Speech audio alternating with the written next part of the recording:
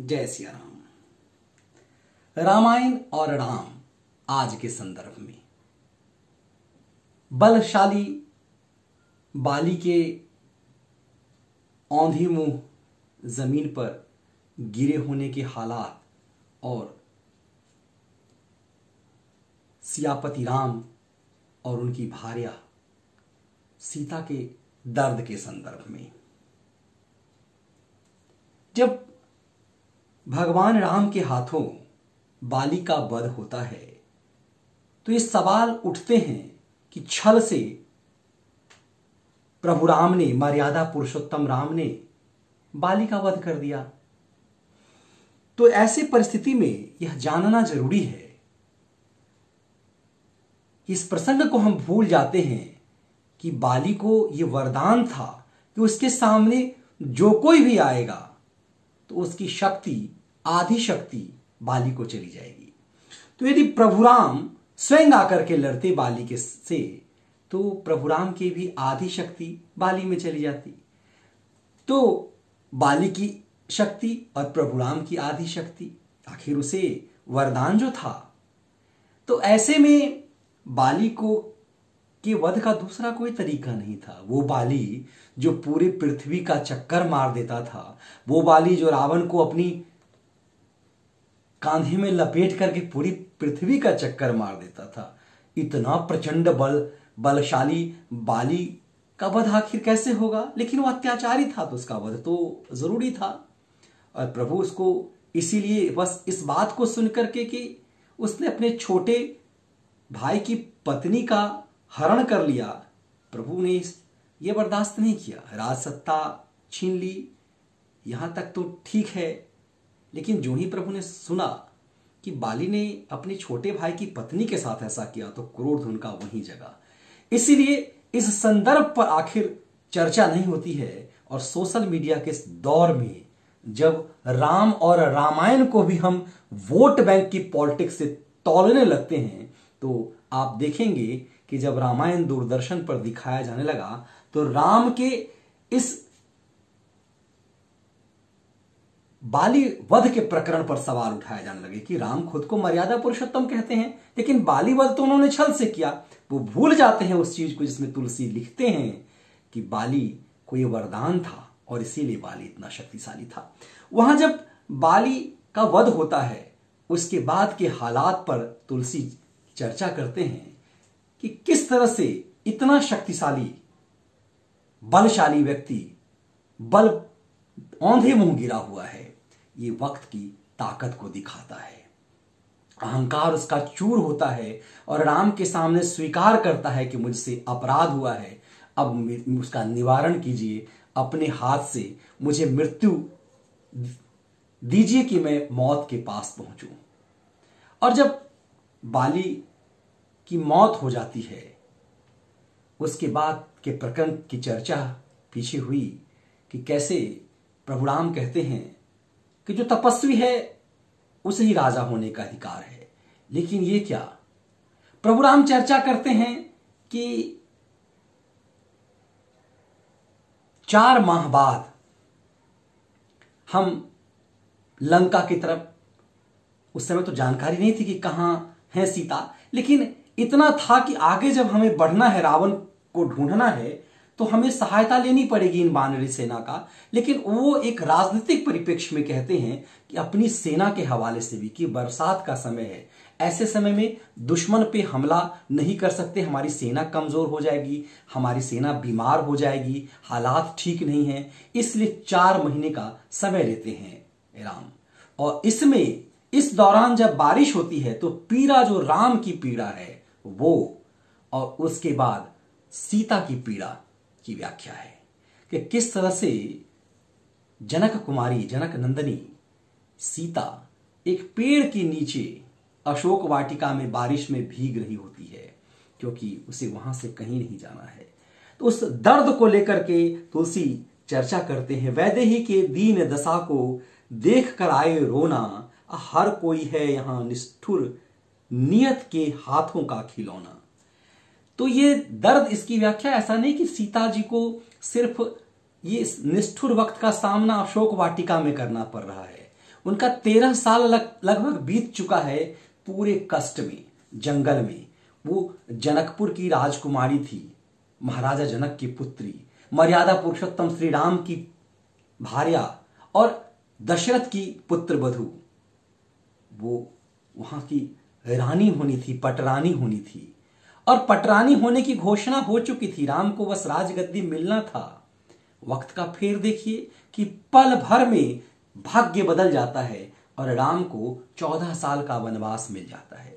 यहाँ तुलसी की यह व्याख्या है कि किस तरह से कितना कष्ट सीता को होता है। और फिर रामायण के इस प्रकरण में पूरे चौदह साल का वृतांत एक तरह से आँखों से दिखा दिया जाता है कि किस तरह सीता ने कष्ट झेले हैं दर दर भटके हैं अपने स्वामी राम के साथ। यहाँ एक विश्लेषण करना चाहूँगा आज के परिप्रेक्ष्य में। मिथिला और अयोध्या, मिथिला में आज भी दामाद को राम की तरह माना जाता है। जब वर पक्ष की तरफ़ से बारात पहुँचता है मिथिला में तो आज भी माना जाता है कि स्वयं भगवान राम आए हैं, विष्णु अवतार माना जाता है दामाद को। इसीलिए कहा जाता है कि धरती पर जितना स्नेह मिथिला के दामाद को मिला है, वो पूरी धरती पर दामाद दामाद को कभी नहीं मिला।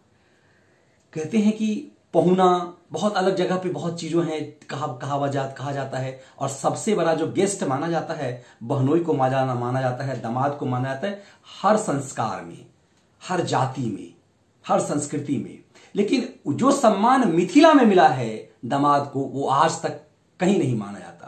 कहते भोले शंकर, जब देखते हैं स्वर्ग लोक से राम को कि कितना सम्मान उन्हें अपने ससुराल में मिलता है तो उन्हें ईर्ष्या होती है, क्योंकि राम, क्योंकि भोले शंकर को, शंकर जी को कभी अपने अपने ससुराल में सम्मान नहीं मना, मिला। और उन्हें बहुत अपमान मिला था अपने ससुराल में। इसी प्रकरण में याद किया जाता है कि मिथिला में दामाद का सम्मान। सीता के कष्ट से ये देखेंगे कि देखिए कि जब जब ऐसा माना जाता है मिथिला में आज भी कि हर दामाद को राम माना जाता है और उनका जो जो दुअरा कहते हैं, जो दरवाज़ा पर जब दामाद आता है, जब बारात आता है तो उसका उसी ढंग से सम्मान किया जाता राम मान करके। और आज भी मिथिला में यह प्रचलन है कि जब शादी के बाद चौथे दिन मूल शादी मानी जाती है, इसे भी उसी रामायण प्रकरण से जोड़ा जाता है कि जब धनुष भगवान राम ने तोड़ा था तो शादी तो हो गई थी एक तरह से, वरमाला तो सीता जी ने पहना दिया था। लेकिन असली शादी तब हुई थी जब महाराज दशरथ अयोध्या चौथे दिन पहुँचे थे। इसीलिए चतुर्थी का प्रचलन मिथिला में है कि जब राजा दशरथ आए थे तो असली शादी तब हुई थी। इसीलिए मिथिला में आज भी माना जाता है कि लड़की की शादी, असली शादी चौथे दिन मानी जाती है। शादी की, पहली शादी से लेकर चौथे दिन तक उसे कुमारी ही माना जाता है, क्योंकि विदेह, नंदिनी जो सीता जी थी, उनकी शादी चौथे दिन हुई थी। यहाँ एक संदर्भ और है जो सीता जी के दर्द से की व्याख्या से है। आपको यह जानकर आश्चर्य लगेगा कि मिथिला में आज भी भगवान राम, दामाद को भगवान राम तो माना जाता है, लेकिन मिथिला में अपनी बेटी की शादी उस त्रेता युग के बाद पिता ने कभी भी उस अवध इलाके में नहीं की। क्योंकि हर पिता ये मानता है, राम की तरह उसका दामाद तो हो, लेकिन सीता को कभी वैवाहिक जीवन में सुख नहीं मिला। जो एक पिता के रूप में, जो पिता जिस तरह जिस तरह का सुख अपने बेटी के लिए चाहता है, एक भाई जिस तरह का सुख अपनी बहन के लिए चाहता है, वो सुख उस दृष्टि से यदि देखिए तो सीता जी को नहीं मिला। इसीलिए मिथिला में कभी दोबारा से अवध नगरी में अयोध्या की तरफ़ पूर्व मिथिला से पूर्व जो है, उस दिशा में शादी नहीं हुई। आदर्श दामाद माना गया। आज भी दामाद माने जाते हैं। पूरा कल्चर जो मिथिला मिथिला का है, वो अपने राम के, अपने दामाद के स्वागत का वही प्रचलन है। ये प्रचलन, ये ये संस्कार, ये चीज़ें अयोध्या की तरफ़ नहीं है। लेकिन कमाल की बातें देखिए कि वो राम तो मानते हैं अपने दामाद को, लेकिन कभी ये नहीं माना गया कि ये जोड़ी, ऐसा नहीं माना गया उनको बहुत सुख हुआ। पूरी प्रकरण में जब राम और सीता की जिस तरह की शादी है, मिथिला में पूरी परंपरा उसी ढंग से है। लेकिन अपने आप में यह दर्शाता है कि कल्चर आज के परिप्रेक्ष्य में भी मिथिला में जो शादी होती है, वो राम और सीता की शादी की तरह है। और इसीलिए तुलसी जब इसको दोहराते हैं कि किस तरह से जनक नंदिनी को कष्ट हुआ है, उसका एक एक पल दिखाते हैं और उधर दूसरी तरफ़ राम की तरफ़ को दिखाते हैं कि राम किस तरह से बारिश हो रही है चार महीने काटने हैं। चार महीने किसी तरह से काटते हैं। अब देखिए कि राम को अपनी पत्नी के लिए अपनी भारिया की खोज में निकलना है, लेकिन प्रायोरिटी प्राथमिकता वो क्या देते हैं? प्राथमिकता देते हैं सुग्रीव की राजगद्दी को। सुग्रीव का राज ठीक ठाक हो जाए, मित्रता मित्रता धर्म को निभाते हैं। लेकिन एकाएक को पाते हैं जब चार महीना बीत जाता है तो पाते हैं कि सुग्रीव सब कुछ भूल गया। क्या सुग्रीव ने मित्रता के धर्म को भुला दिया? क्या सुग्रीव कृतज्ञ हो गया? और राम यहाँ कहते हैं कि गौवध, गौ हत्या भी स्वीकार, उसके लिए भी प्राश्चित किया जा सकता है। लेकिन कृतज्ञता इसके लिए कोई माफ़ी नहीं है। और इसीलिए उस पर पहली बार वहाँ पे फिर राम को एक बार गुस्सा आते हुए दिखता है कि किस तरह से राम गुस्से में हैं। और उनको क्रोध आता है, फिर वो लक्ष्मण को भेजते हैं और देखते हैं कि सचमुच सुग्रीव तो सब कुछ भूल चुका है। सुग्रीव अपनी रासलीला में एकदम से लीन हो चुका है, क्योंकि उस सत्ता एकाएक जो उसे ज़्यादा सुख मिला, उसे वो बर्दाश्त नहीं कर पाया। इसीलिए आज के परिप्रेक्ष्य में आप देखेंगे कि जब किसी को आवश्यकता से ज़्यादा मिल जाता है, ये सुग्रीव प्रकरण आज के परिप्रेक्ष्य में भी है। अकल्पनीय चीज़ कल्पना से पड़े यदि लोगों को मिल जाता है तो यही है। और इस पूरे प्रकरण में फिर तुलसी दिखाते हैं, रामायण के एक एक छंद में है एक एक प्रकरण में, कि वक्त की ताकत कितनी बड़ी है। जब भगवान राम का वक्त रातों रात बदल सकता है तो किसी का भी हो सकता है। इसलिए अहंकार नहीं करना चाहिए, रामायण एक एक संदेश देता है। रामायण दिखाता है कि किस तरह से बाली इतना बलशाली था कि उसे लगता था कि धरती पर कोई उसे हरा ही नहीं सकता, क्योंकि जो ही सामने वाला उसे, उससे लड़ने आएगा, उसकी आदि शक्ति उसकी हो जाएगी। आज के राजनीतिक परिप्रेक्ष्य में देखेंगे तो मेरा व्यक्तिगत अनुभव है, जब मैं छोटा था तो जब लालू प्रसाद यादव की सत्ता थी तो लगता था कि धरती पर लालू से ज़्यादा सुखी व्यक्ति, लालू से ज़्यादा गौरवपूर्ण व्यक्ति कोई नहीं, क्योंकि उनका अहंग चलता था, और लालू एकदम अहंकार में होते थे, पटना से लेकर दिल्ली तक उनका अहंग चलता था। दूसरी तरफ़ इधर देखेंगे तो ऐसा लगता था कि इस देश में कांग्रेस की सत्ता कभी खत्म नहीं होगी। इस देश में ऐसा लगता था कि आप सोनिया परिवार के खिलाफ, या फिर आप उनको सिर्फ़ सोनिया नहीं बोल सकते हैं। वक्त ये भी था कि उनको मैडम ही आप बोल सकते हैं। लेकिन वक्त बदला। हर किसी का वक्त बदलता है। रामायण ये दिखाता है कि बाली का भी वक्त बदल गया। बाली तो छोड़िए, राम का वक्त बदल गया, सीता का वक्त बदल गया।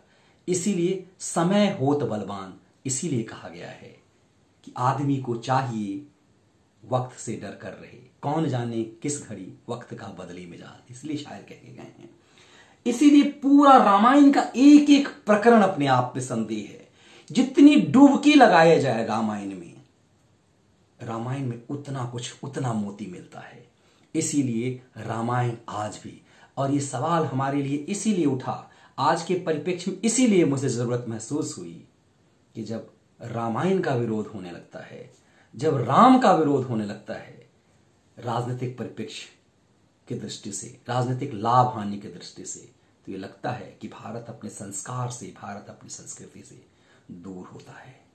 इसीलिए राम और रामायण से जुड़ना है, ताकि राम के आदर्श को दुनिया समझ सके, भारत की सांस्कृतिक समृद्धि को, सांस्कृतिक संपन्नता को, सांस्कृतिक शक्ति को दुनिया समझ सके।